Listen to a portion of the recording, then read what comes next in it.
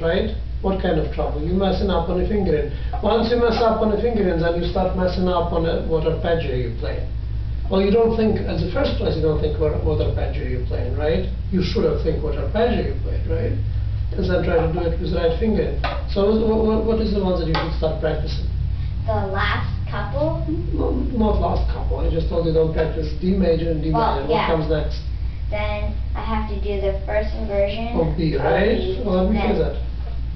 Practice just that. And think what notes you play.